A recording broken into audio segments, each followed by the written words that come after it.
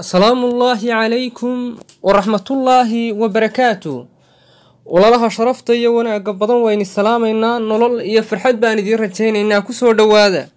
Muuqaalkan insha allah waxaynu ku eegaynaa bakteeriyada loo yaqaano salmonella.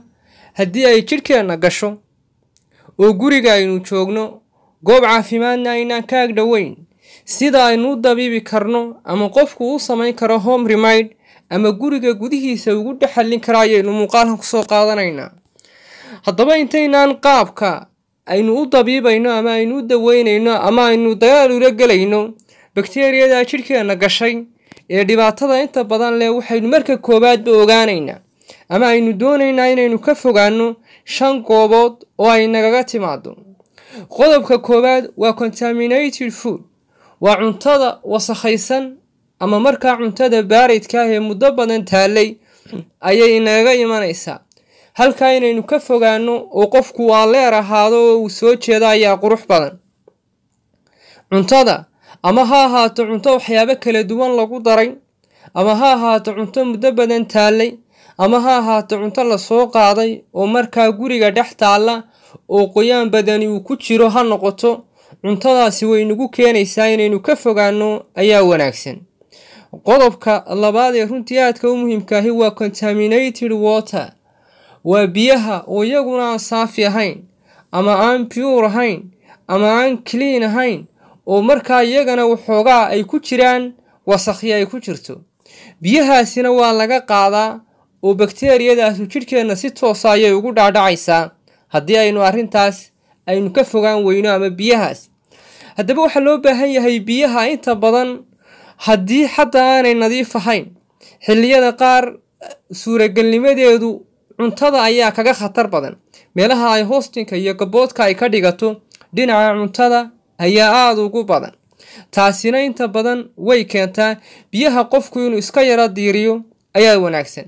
Cuntada iyada diirimaad la'aan qofku ma cuno oo aragtida caafimaadku cunto qabow oo muddo badan taallay way iska kaa hortaagaysaa ama way kaaga digaysaa cuntadu inay diirimaado oo ay fresh ahaato ayaa qurux badan. Cuntooyinkan freshka ahayn aad bay ugu badan yihiin bulshadeen. Dhinaca kale waa sandwichka oo iyagu dadku aanay u aqoonin inay markaas ay cuntadan cunto diyaarsanaytay laakiin cunto ay kaga iman karta aanay aqoon. Waa goobaha macmacaanlayaasha ama meelaha lagu iibiyo cuntooyinka inta badan diyaarsan. Cuntada aynu sandwichkan idhaahno ee dhexda laga geliyo marka ama hilib ha noqoto ama qudaar ha noqoto ee roodhida lagu daboolo ee muddo badan taallay. Iyaduna waxay noqonaysaa haddii aanay meel sayfa oolin inaad bakteeriyada ay gudahaaga ay gasho oo ay ku dhalato ama ay hoostin u noqoto sidaa ku liqdo. Dhinaca kale waa eg waa ugxanta ama ukunta iyaduna sidoo kale qeedhinka ama aan dabka si fiican aan loogu bislayn ama aan marka koowaadba aan sayf ahayn oo aan laga ilaalin goobtay ku dhalanaysay iyo dhinacii markaas aan markaa laga tallaalin. Waxaa jira wakhtiyadan casriga in ugxanta qaar ka mida xayawaanka markaa ugxanta ka yimaadee doorada ama digaagada in la tallaalo. Ayaa jirta oo si aanay bakteeriyadaas difaac ay ugu yeelato ayaa laga dallaali karaa. Laakiin sida ay u badan yihiin ukunta ama beedku inuu qofku dabka si fiican ugu geliyo oo uu si fiican ugu bisleeyo ayaa u muhiima. Taas ayaa ta qodobka koowaad ah aynu kula talinayno walaalaha maadaama oo bakteeriyadan ay hoostin ku tahay jidhkeenana ay sidaa ay ugu dhaadhici karto oo ay ugu geli karto.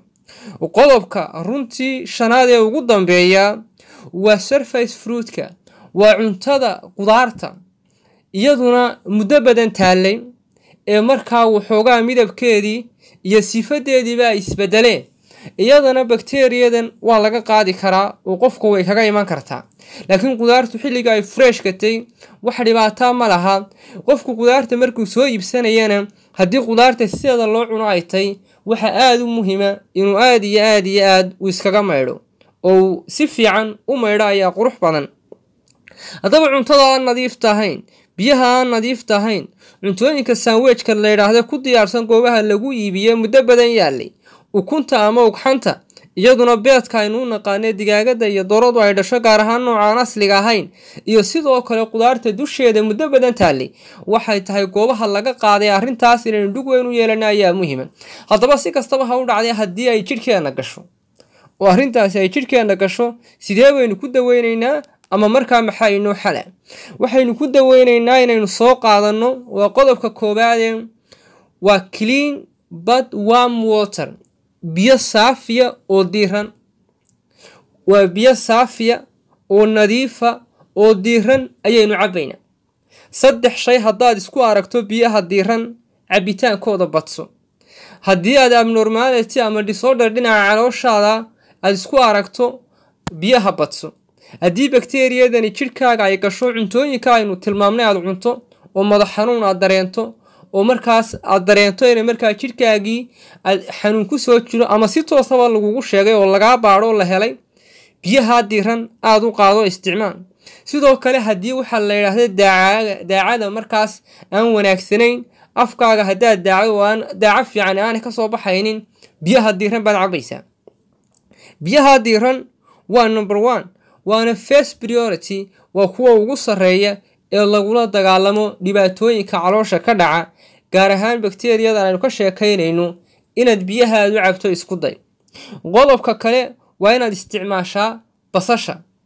Basashu waxay inta badan wadataa waa herbal substances usefula oo treatable ayay runtii wadataa oo aada u muhiima waxay wadataa muwaadaad lagu daweeyo ama inta badan ka hortagta microorganismka ayay wadataa.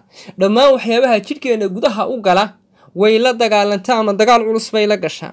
Sidoo kale toonta ayaa waxay tahay iyaduna ta ugu muhiimsan oo toonta biyaheedaad intaad biyo ku ridato aad cabtaana waa ku anfacaysaa inaad cuntada ku karsataana way ku anfacaysaa inaad ku dulgoogoosataana way ku anfacaysaa doontuna doorkaa muhiimka ayay ka qaadataa oo waa iyadana lagu daweeya ama waa lagu dabiiba. Sidoo kale filfisha ayaa iyaduna biyaha lagu radiyo iyo in cabitaan diiran lagu darsado ayaa waxa ay kaa dejinayaan ama waxaabay si toosa u dilayaan bakteriyada gudaha inoo gashay ee salmonella. Doonta iyo basasha labadaba juus ahaan iyo cabitaan baad ka samaysan kartaa sidoo kale cuntadaad ku darsan kartaa ama aad ku googoosan kartaa cuntada lagu kariyo qudheedu. Inta badan bakteriyadani hore uguma timaado oo hore uguma dhacdo oo marka horeba contaminated kama dhigto. Dhinaca kale ee runtii isaguna aadka u muhiimka ahi waxa weeyaan ama aynu ugu dambeeyaa in uu qofku uu sameeyo inuu biyaha diiran uu ku darsado filfisha ama dhagayaraha inuu ku darsado. Filfil ama dhagayare ayaad biyaha diiran aad ku darsanaysaa. Cabitaan iyo juus waxaad ka dhiganaysaa cabitaan caadiya oo waxaad cabaysaa calooshaada oo madhan caloosha oo madhan ayaad cabaysaa waa dhagayaraha ama filfisha ayaad biyaha diiran ku darsanaysaa marka ay caloosha gasho bakteriyadani qaabkaasi waa qaabka ugu saxsan ee home remedka loo sameeyo. Waanaad ka bogsanaysaa insha allah. Relief badanna waad helaysaa intaasaynu muuqaalka ku soo ururayna. Asalaamu calaykum waraxmatullaahi wabarakaatu